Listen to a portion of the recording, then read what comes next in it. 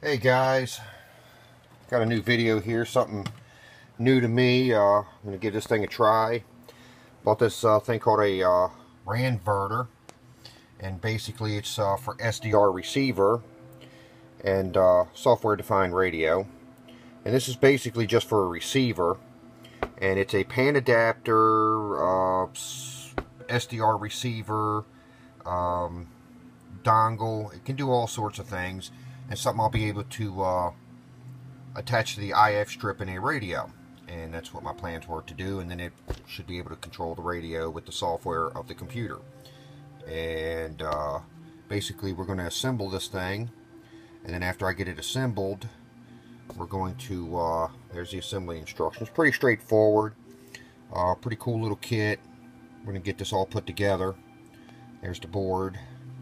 And uh, here it is so uh, I've already on cut the tape and everything, but here's what we got. And then we got a USB cable down in there that hooks to the computer. Just set this over to the side. Bag full of parts, and you assemble this yourself. So uh, basically what we have here is just all the parts. Get the board out of here. Kind of hard to do everything with one hand, but there we go.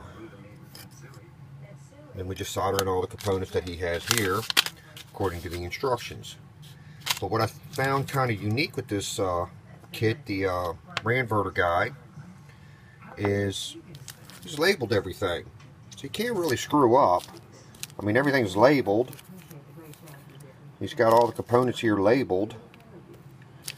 So it looks like it's going to be pretty straightforward on uh, basically how to assemble this you know you have uh, all your components here. And uh, as you see he's got everything labeled and according to the instructions he says should take a about an hour for a novice to put this together. And the board's marked where all the components need to go. It's all printed on there. I don't know how well y'all can see that. Let me see if I can get a better better view of this. There you go. So as you see all the locations are marked on the little board so just about anybody should be able to do this. Follow the instructions. And uh, we're going to assemble this we're going to get it going and we'll be back with an updated video. Alright here we go it's all assembled. Everything's soldered in. I used his dongle. I also tried it with the dongle that I uh, presently owned and uh, either one will work. Um, pretty easy to uh, put together. Uh, wasn't bad at all uh, he claims it takes an hour to do it. I did it in about 45 minutes, but that is somebody that, uh, you know, I do solder stuff for a living, so. Uh, but I'm, I'm guessing for the novice, it would probably take you a good hour. Um, I did do a couple things to it that aren't in the instructions, and I'll explain. Uh, one of my shrink tubed at the bottom, I don't know how well you can see that. Let me see if I can zoom in. I put a little heat shrink tubing around the shield and uh, at the uh, coax connector because you have to cut that off of this little antenna that he supplies with it. And then I ferrite beaded the antenna line um, just for RF protection, that's all, you know, because I run amps and, you know, just in case it wants to come in through the antenna side. I did do that. That was pretty much all I've done. Um, everything else is pretty much uh, put in place the way the board's laid out we'll get her hooked up and we'll give you a demo of how this thing's working in action. We'll be back.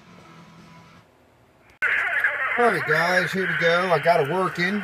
I got it in line right now. I had to make a little cable up for it. Uh, right here because I use an RCA jack on it. I got it hooked into my Dow, Dow key. And basically, uh, just running it on SDR Sharp right now.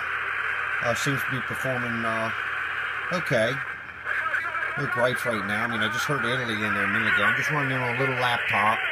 So I'm just using a laptop speaker, so it's not the greatest in the world, but uh, I was kind of scanning around a little bit, trying to see what I could find, and uh, we got action all over the place. Kind of funny for 7 o'clock in the morning, and we don't usually get too much skip going on.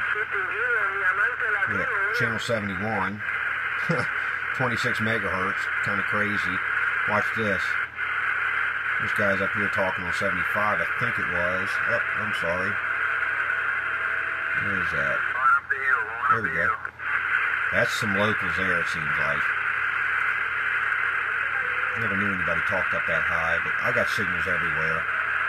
It's kind of crazy. Let's see what that is. There we go. 91. So,